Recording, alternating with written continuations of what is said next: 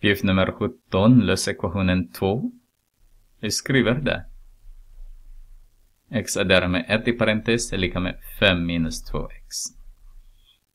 Vi skulle redovisa, så vad gör man? Så vi multiplicerar jag in 2, så har jag 2x.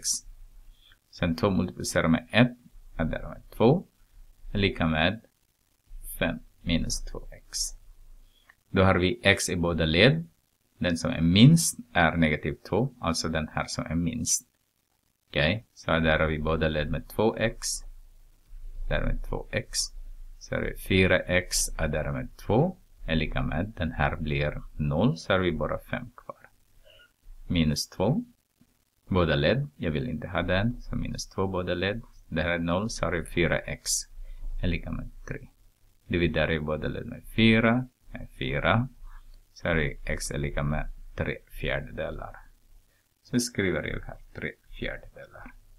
Om du har, ja kanske du gillar inte brotttal så skriver du 0,75. Jag tror det är okej okay också att skriva x är lika med 0,75.